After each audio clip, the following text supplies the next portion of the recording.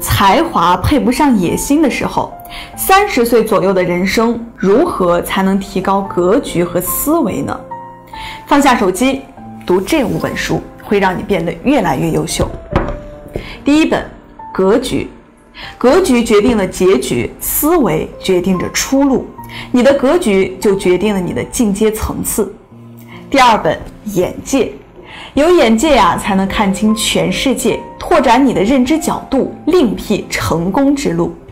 第三本策略，懂点策略呀，能够打破你的思维定式，让你的事情事半功倍。第四本情商，智商决定起点，情商决定终点。想要成才靠智商，想要成功得靠情商。第五本见识。见识决定着视野，用高度来化解难度，为你打开新世界的大门。感兴趣的朋友可以点击视频下方链接来看一看。